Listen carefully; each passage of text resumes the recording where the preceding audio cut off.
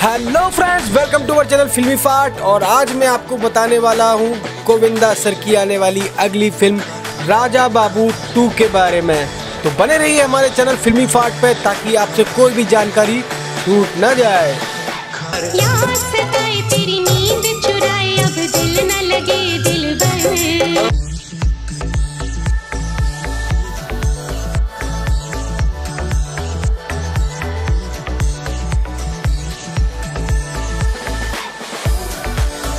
Friends अगर आप ये वीडियो देख रहे हैं इसका मतलब ये है कि आप गोविंदा सर के बहुत बड़े फ़ैन हैं और आप चाहते हैं कि राजा बाबू टू मूवी बने। अगर आदमी पसंद ना आए तो ये बात अलग है। मगर पसंद आने और शादी के कार्ड बजाने के बाद सिर्फ़ इस बात का पता चले कि वो अनपढ़ है इसलिए शादी से इनकार कर देना। ये बात तो गलत है। तो फ्रेंड्स गोविंदा सर के फैंस के लिए बहुत बड़ी खबर है कि राजा बाबू टू मूवी का रीमेक बनने जा रहा है। जो कि रिलीज़ होगा साल 2021 में। फ्रेंड्स, जैसा कि आपको मालूम होगा कि राजा बाबू फ़िल्म रिलीज़ हुई थी 1994 में, और ये मूवी उस समय की super duper blockbuster hit movie थी। इस मूवी में गोविंदा, करिश्मा कपूर और शक्ति कपूर ने एक साथ काम किया था।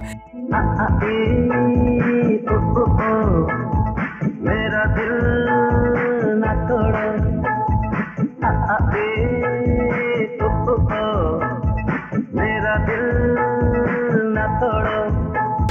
इस मूवी के एक एक डायलॉग सुपरहिट हुए थे। शक्ति कपूर की कॉमेडी टाइमिंग तो देखते ही बनती थी। आपने भी अगर ये मूवी पूरी देखी होगी तो आपको मालूम होगा कि ये मूवी कितनी मज़ेदार थी।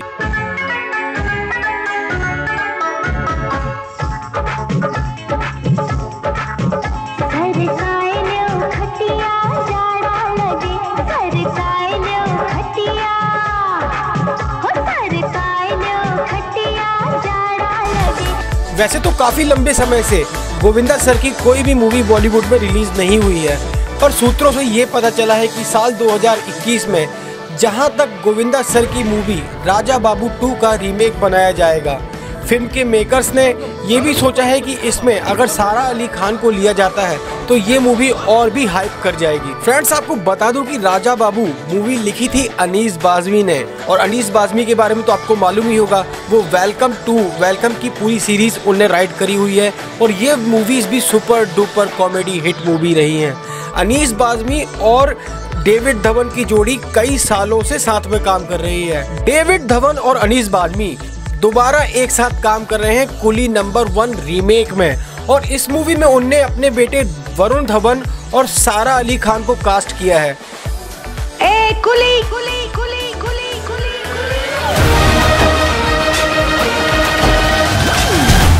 इस फ़िल्म का एक टीजर भी रिलीज़ किया गया है जिसमें वरुण धवन कुली के गेटअप में दिखाई दे रहे हैं। कुली की कॉस्ट्यूम उनने पहनी हुई है। अब देखते हैं कि क्या ये Coolie number one movie remake पहली वाली कुली नंबर वन की तरह होगी या नहीं? लेकिन ये बात कंफर्म है कि अगर डेविड धवन और अनीस बाजमी की जोड़ी दोबारा इस मूवी को बना रही है तो इस मूवी का सुपर हिट होना 100 परसेंट है।